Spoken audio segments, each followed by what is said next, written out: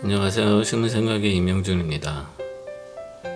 베란다에서 월동을 한 파인애플 구아바가 잎도 많이 떨어지고 키가 작은 외성 바나나들도 잎이 거의 떨어지고 상태가 좋지 않은데요. 오늘 이 식물들을 직접 희석해서 만든 액체 비료를 주어 생장을 촉진시켜 보도록 하겠습니다.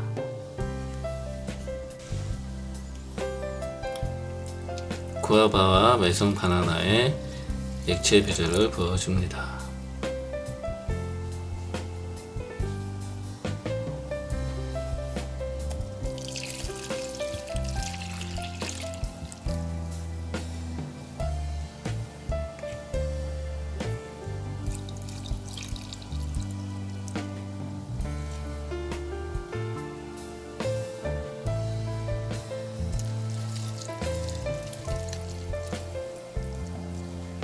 액체 비료를 부어주고 일주일이 지나 파인애플 구아바에 조금씩 새잎이 나와 펼쳐지기 시작합니다.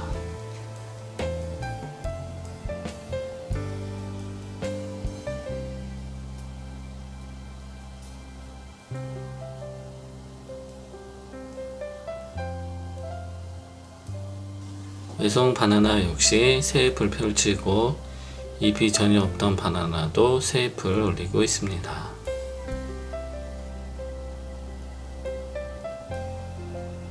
그렇게 새 잎들이 올라오고 또 일주일이 지나 파인애플 구아바는 기존의 잎들은 거의 떨어지고 새 잎들이 나와서 많이 자라고 있습니다.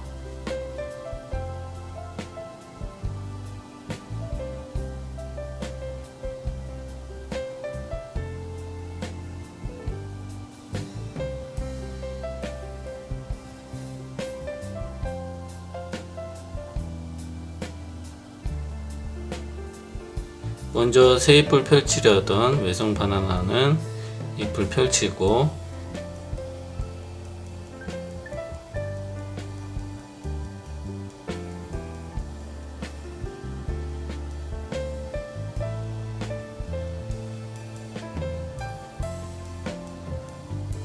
새 잎을 올리던 또 다른 바나나도 새 잎을 펼쳤습니다.